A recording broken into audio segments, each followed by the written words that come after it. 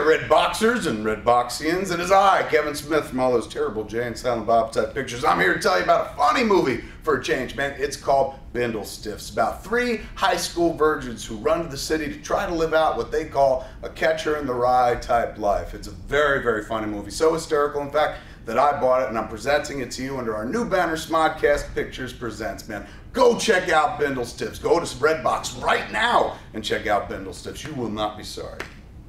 Go ahead, I'll wait. You're still standing there.